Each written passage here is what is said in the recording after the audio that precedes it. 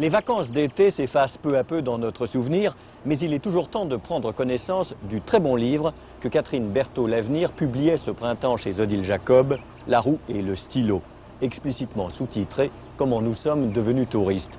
C'est en quelque sorte une histoire des vacances extrêmement documentée, faite de courts chapitres consacrés aux sujets les plus variés, les plus vivants. Pourquoi partons-nous? s'interroge l'auteur. Parce que tout le monde s'en va et parce que c'est la mode. Une mode récente. Au XVIIIe siècle, il fallait être un original comme Jean-Jacques Rousseau pour trouver belles les montagnes qui alors faisaient peur à tout le monde, jusqu'aux émois romantiques. Ensuite, ce sera la vogue des stations balnéaires, puis la Grande Bleue et ses prestiges. Le premier train de plaisir s'en va en 1848 et c'est en 1877 que la Côte d'Azur est baptisée de la sorte. Le tourisme cycliste triomphe vers 1900, avant l'automobile, et c'est cette année-là que paraît la première édition du Guide Michelin, à peu près au moment où est créé le Touring Club de France.